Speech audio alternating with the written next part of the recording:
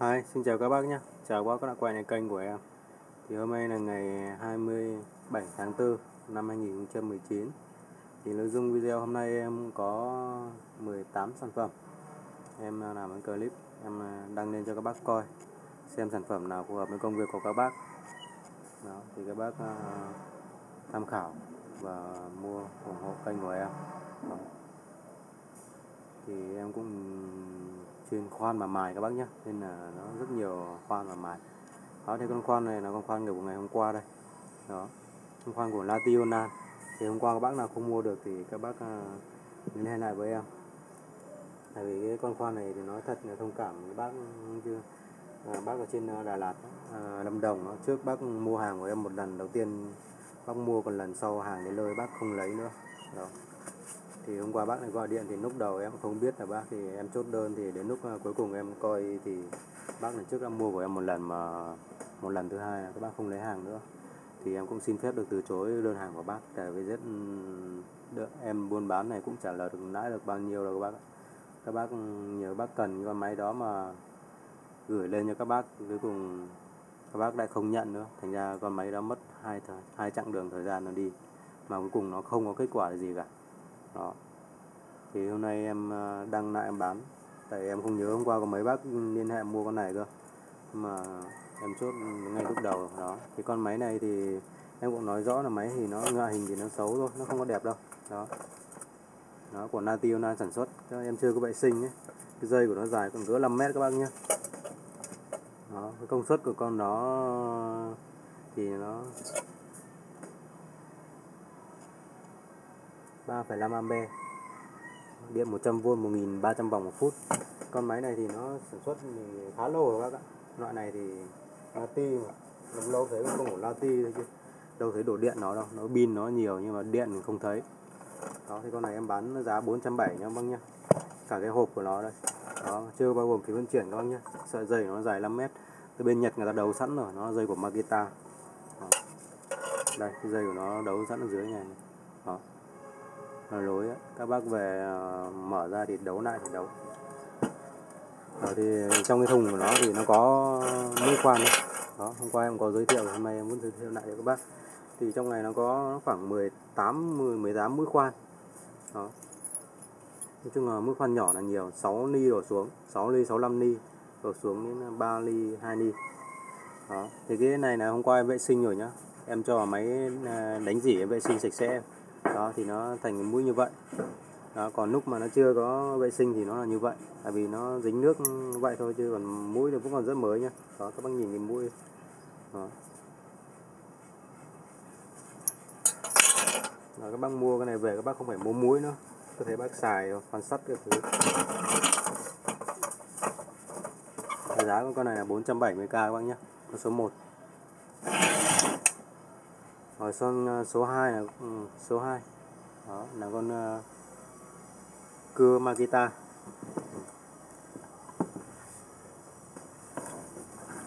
Đấy, con này còn rất đẹp các bác nhé. Đó giá nó 590 đây cái màu sơn này màu sơn hồng là bên Nhật con sơn này không biết ừ, cái ông mà ông xài cái cưa này ông sơn làm gì không biết. Đó ông sơn từng con ốc của ông luôn. Ông sơn màu hồng. Đó.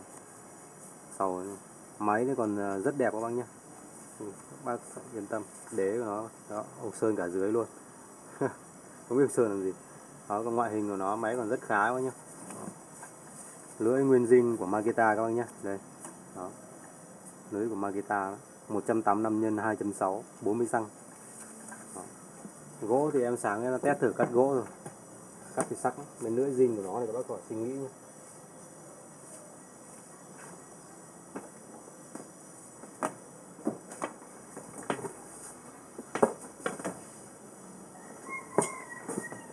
quên vừa rồi em ờ, chưa test ờ, cái máy khoan nó chạy. Để em test thử cho các bác. Máy khoan này hôm qua nó em có test rồi. Nó chạy em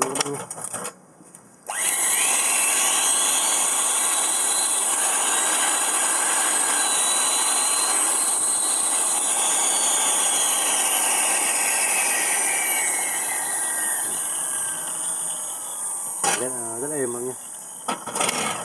Các bác về dùng quan sát con gỗ vô tư các bác nhé có cái hộp cho bác tiện. Và con Magita này, cái dây của nó dài khoảng 4 mét rưỡi 5 mét.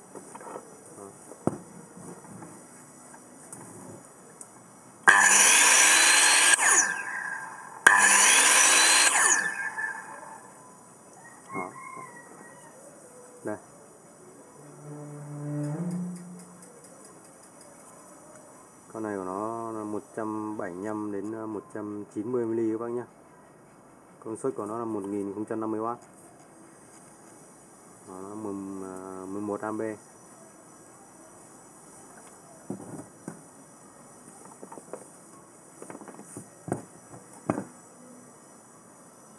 còn số 2 của nó 590 các bác nhé.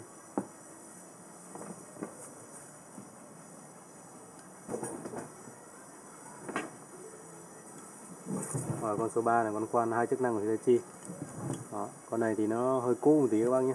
Cái tem này nó bong lên rồi. Đó, em giá bán giá cái này 390 thôi. Đó. ngoại hình thì nó vậy thôi.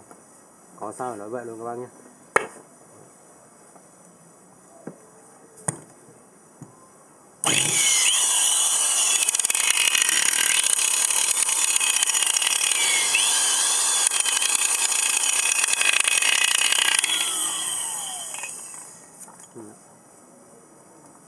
con này rất nặng nó nặng khoảng 5 kg các nhá nó còn sắt còn gỗ thì vô tư.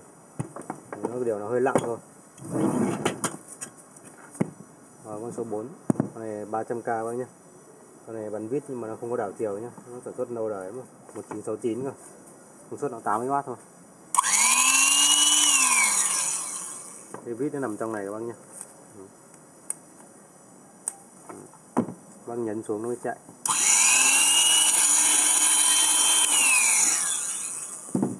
Đó, dây zin luôn 300 rưỡi. À, 300k các nhé nhá.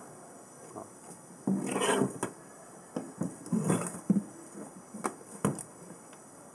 Con máy mài Joby con này hai trăm rưỡi các bác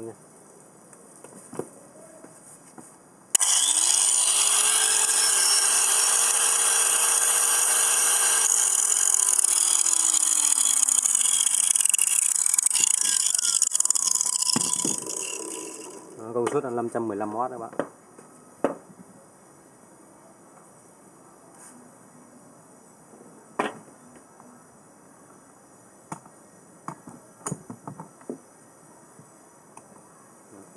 rồi đến con uh, mài của Hitachi này. con này giá 200k các nhé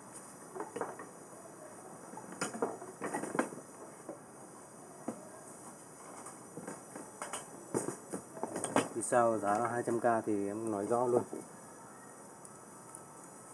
Con này công suất của nó là 590W điện 100V mới nhá.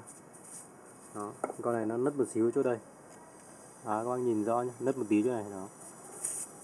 Con máy hoạt động ok nhá không bị đánh nửa không mòn cổ không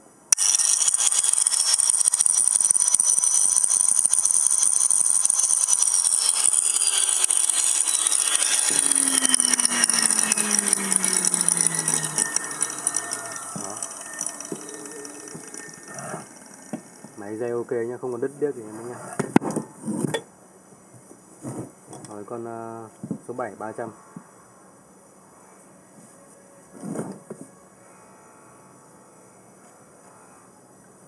Đó, cái số máy mài hôm qua em bán hết rồi băng nhá.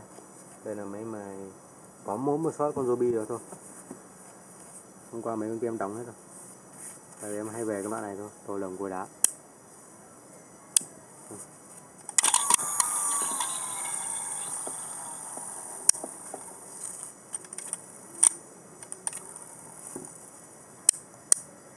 Em kiểm tra lại con này nhé, nó kẹt than bạn.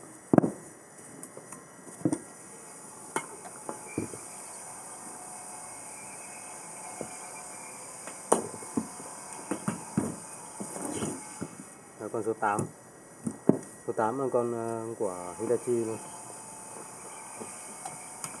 Con này nó, công suất của nó là 530W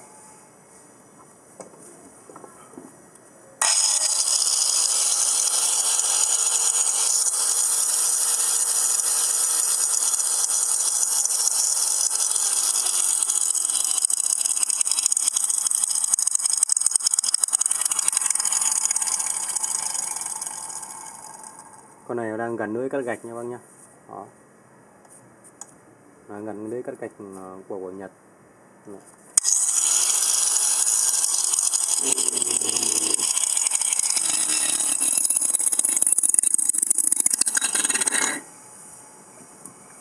rồi, số 8 300k rồi, con số 9 là con trà nhám của Makita bác nhá con này nó công suất của nó là 520W 10.000 vòng trên một phút 5,5 ampe. Model của nó là 9045 L. Đó. thì con này nó hơn mấy con ờ, hôm trước em bán thì con này nó có đầy đủ nhá. Có cả túi đựng bụi này nhưng mà bên này nó mất cái kẹp rồi các bác. Đó. bác phải chế cái kẹp ở đây để nó đựng bụi. Còn con này sẽ nó có cả cái này luôn nhá. Còn trước không có tại vì cái này là cái để nó che bụi ở dưới này, đó. Lúc em bấm chạy là nó phồng cái túi này lên, nó hút nó hút bụi vào đó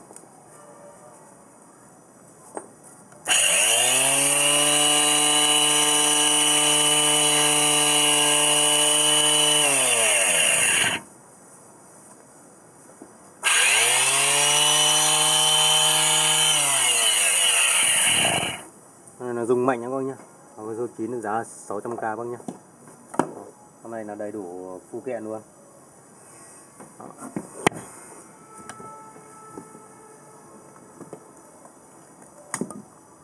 Đó, con ờ, số 10 thì con này hôm nay nó có cái đặc biệt của nó là cái này là của led cơ nhá giá nó là 750k bác vâng nhá Đó. đây, đây.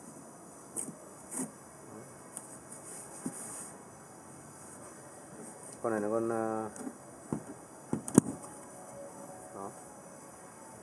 Con ờ, khoan ờ, à, con đục bê tông của Hitachi à, của Black Decker. Con này là của Mỹ các bác nhé sản xuất tại Mỹ. Đó, điện 100V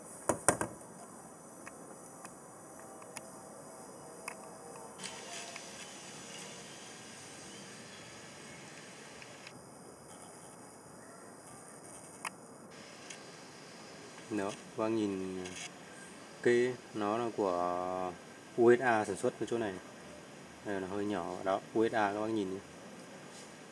Đó.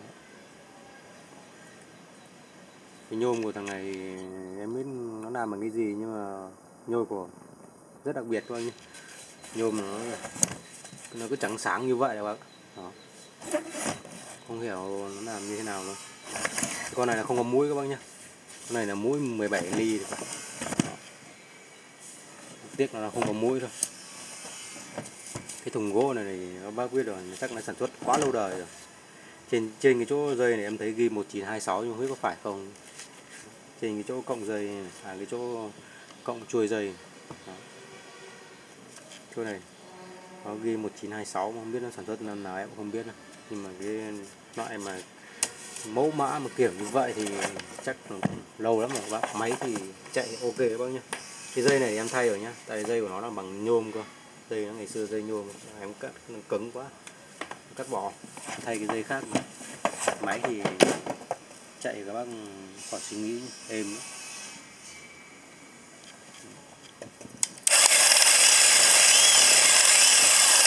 máy còn rất mạnh, các bác nhá đó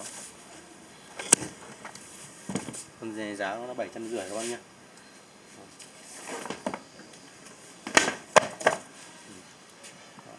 Một mẫu mã của đời cổ. Nhôm nó sáng trắng luôn các bạn. Không biết nó làm nhôm gì, không cần sơn nhé còn như cái mấy cái máy này là có sơn sơn. Nhưng mà vẫn không thể bằng cái nhôm đó được.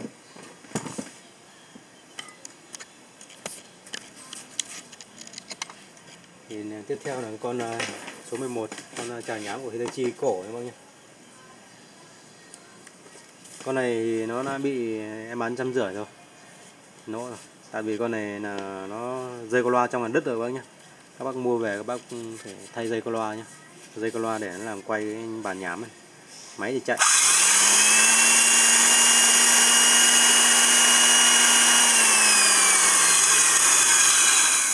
Thân máy bằng nhôm hết nhá chạy cũng rất êm đấy nhá. Đường kính nhám là 92 nhân à, 84 mm bác nhá.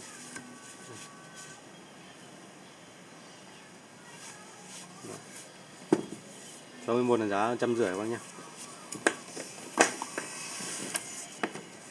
Rồi con số 12 là con à, à, khoan góc của Hitachi D13i con này nó là công suất ừ, 580W cái này nó loại tua chậm bác nhá không phải tua nhanh đâu. Đó. 450 vòng một phút thôi. Đó, bác nhìn nó chỉ có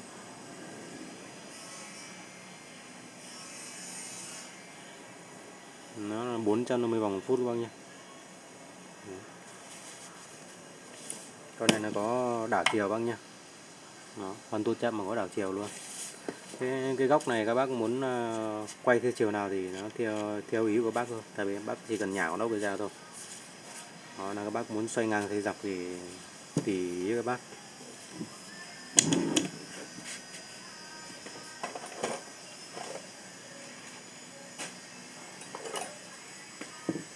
Thì con này em bán là nó có tay cầm luôn các bác nhé em cho các bác tay cầm ở đây.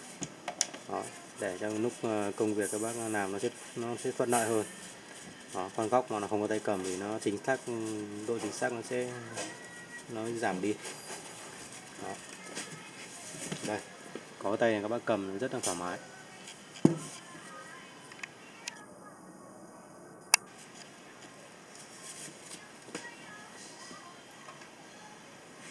Đó, giá con này là sáu trăm rưỡi bác nhá cụm dây nó rất dài đây 5 mét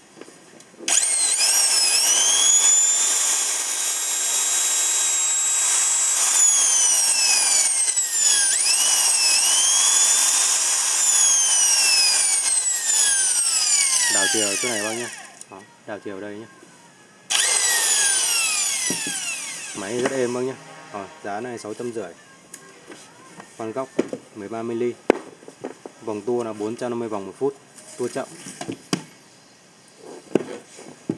Rồi, con số 13 là con ờ, khoan Makita à, con ờ, bắn vít. Nhưng con này nó mất hết ờ, số rồi bác nhé. Mất hết công suất rồi nhưng công suất của con này thì nó là tơ tầm 190W thì em có bán rất nhiều. Đó. Nó có số ở đây bác nhé. Từ số 3 đến số 6 nó mất số thì các bác ừ, vẫn bắn được. Ví dụ nó yếu các bác tăng lên. Đó. nó tua chậm chỉ 500 vòng một phút thôi bác nhé. Con này giá nó 300k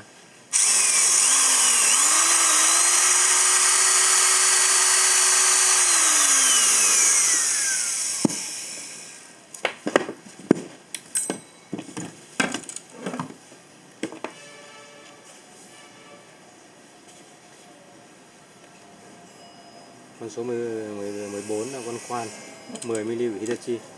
Mũi này em gắn em thử máy nhá thử cái, cái độ khoan của nó thôi các bác nhé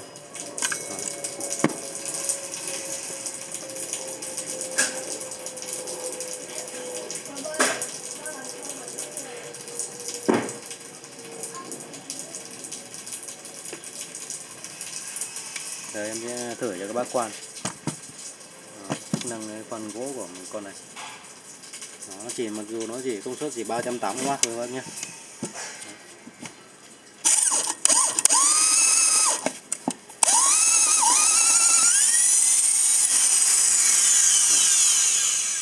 Gỗ hơi cứng không phải là gỗ mềm đâu bác nhé. Đó nhiều kia bác bảo là máy nhỏ, công suất yếu, không khoan được. Mũi này đường kính nó, đường kính 20 đúng không nhé. Xài vô tư bác nhé nó, nó dòng tua chậm mà nó chỉ 1250 vòng một phút thôi. Nhưng mà tua chậm nên là nó làm việc rất là hiệu quả các bác. Trong vấn đề khoan sắt và khoan gỗ. Khoan mũi lớn và mũi nhỏ cũng nói.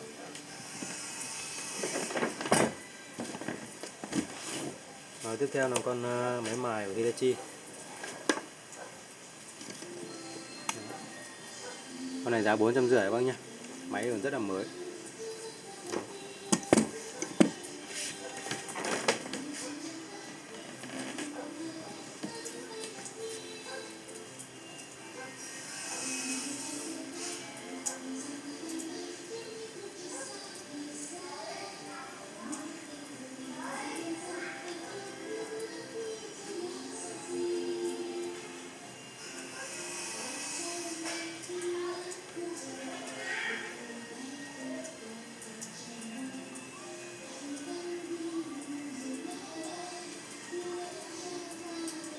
Đây này. Đây là cái nội thất của con máy ờ, máy mài em đang giới thiệu các bác. Hôm qua em ờ, có tháo ra. Đó. Các bác nhìn thấy không? Đó cục rô to của nó là còn mới tinh các bác nhé. Không bị han gì một ừ, biến dạng một cái màu gì các bác nhé. Đó đây là bên trong của nó. Đó. Con máy đây con máy đây. Đó, đó bên trong của nó đấy các bác. Nó được ờ, bọc hết bằng nhựa cách điện bằng chất cách điện này. Đó trên dây đồng hết rồi, nên các bác yên tâm sử dụng con này nhé. Đó. máy còn rất mới các bác nhé. Con này thì nó công suất nó chỉ số 120W con này bán này em sẽ kèm một tay cầm cho các bác, tại vì con máy nó quá mới. Đó. đây là cái lưới cắt gạch, đó, theo máy của nó. Đó, tay cầm là chỗ này đây, các bác ừ, mỏ nó ra. Các bác cho tay cầm vào đây. Con này có nút nhấn con này thiết kế đặc biệt là thiết kế theo cái, đó. Cái cái đầu đầu này các bác để ý, cái đầu này nó thiết kế nằm ngang luôn để cắt gạch rồi. Đó. Chứ nó không nằm quay xuống như kia. Quay xuống các bác đổi đầu nó vẫn quay xuống thôi. Đó. Cái đời chiều mũi tên nó đây, nó đang quay hướng giữa này người mình nhé. Đó. Với con này giá của nó là bốn trăm rưỡi bác nhá chưa bao gồm phí vận chuyển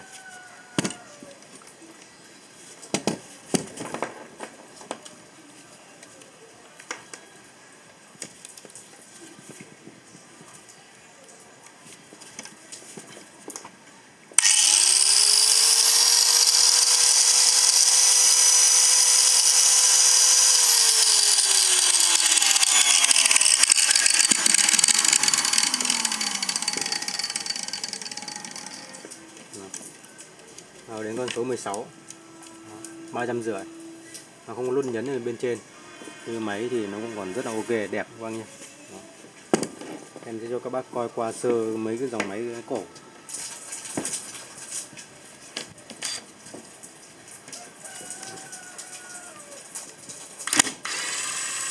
Và nhiều khi các bác bảo là cái máy cổ sản xuất lâu đời nó không còn tốt nữa.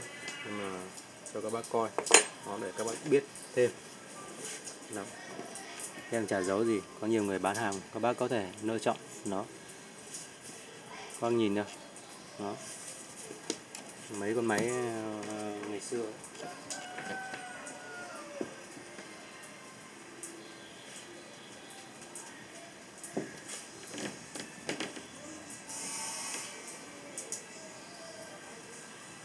Đây này. đó đó, cho các bác coi đó. máy nó còn rất là đẹp các bác nhé đó.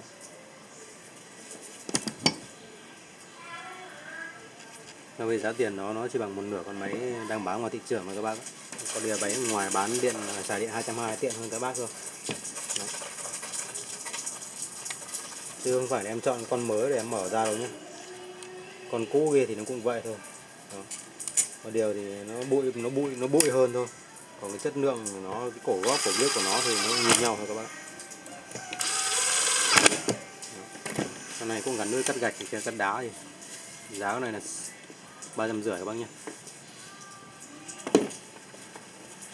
Dây Hitachi hết bác nhé.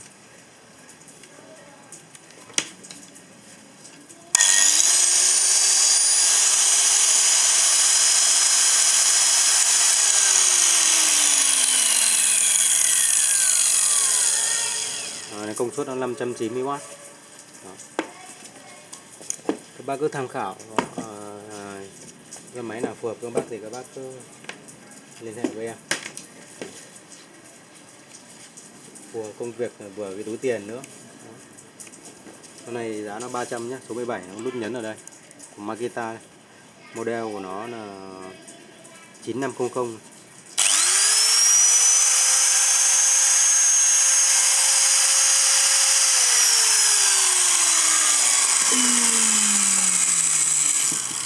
Rồi, con số 17 giá nó 300 bác nhá.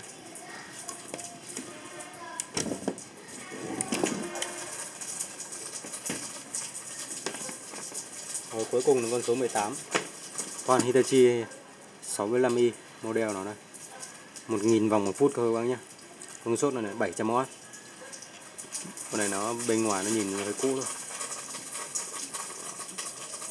Em bán giá nó 490 nhá. Có tay cầm, cái thứ đàng hoàng nhá. Khóa khoan có đảo chiều bác nhá. Đây.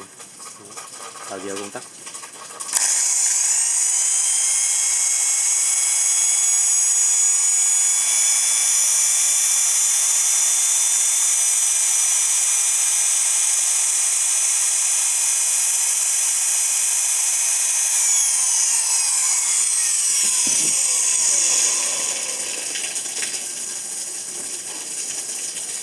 Rồi video của em đến đây cũng là hết rồi.